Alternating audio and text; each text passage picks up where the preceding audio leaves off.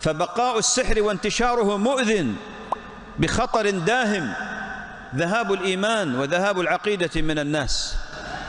وقد ذكر ابن جرير الطبري ونقل هذا أيضا الحافظ ابن كثير الدمشقي في تفسيره العظيم قصة عجيبة.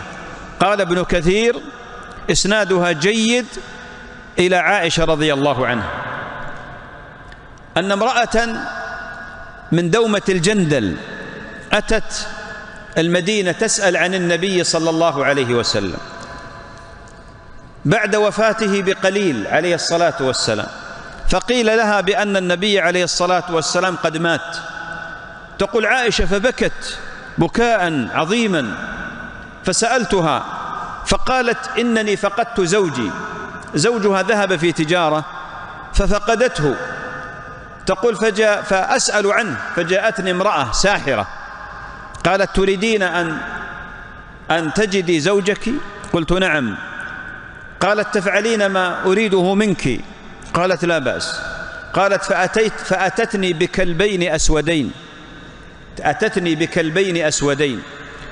فركبت واحدا وركبت الآخر. فطار بي فطار بنا إلى بابل. بابل. تقول فأتينا إلى رجلين معلقين بأرجلهما. فقال ما تريدين يا أمة الله؟ قال أريد قالت أريد أن أتعلم السحر. فأمراها بأن تنصرف وقال لها إنه كفر. قالت فأبيت. أبت إلا أن تتعلم السحر. فقال لها اذهبي إلى تلك النار. اذهبي إلى تلك, تلك النار وبولي فيها. تقول فأتيت إلى نار مؤججة ففزعت. فرجعت إليهما فقال ماذا صنعت؟ قالت بلت فيها. فقال لها ماذا رأيت؟ قال قالت لم أرى شيئا. فقال كذبت. ما فعلت؟ اذهبي. فذهبت المرة الثانية. فخفت تقول من النار. فلما رجعت قال ماذا فعلت؟ فقالت كذا وكذا. فقال كذبت. ما فعلت.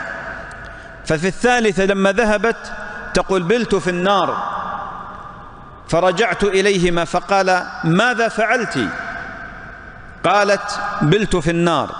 فقال لها ماذا رأيت؟ قلت رأيت فارسا مقنعا خرج مني فطار فاختفى في السماء.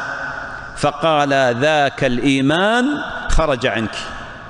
نسأل الله العافية. ذاك الإيمان خرج عنك. ثم قال لها خذي حبا فافركيه ففركته. ثم قال لها قولي ازرع فزرع قولي احصد انبت فنبت ثم قال لها قولي احصد فحصد. كل هذا سحر علماها إياه وفقدت الإيمان. فرجعت تبكي تريد حلا فكلما أتت صحابيا قال لها والله ما ندري ما نقول. تقول عائشة يمنعهم الورع أن يقول لها شيء. والمعنى إخواني وأخواتي أن السحر والسحرة هم مسمار في نعش الإيمان.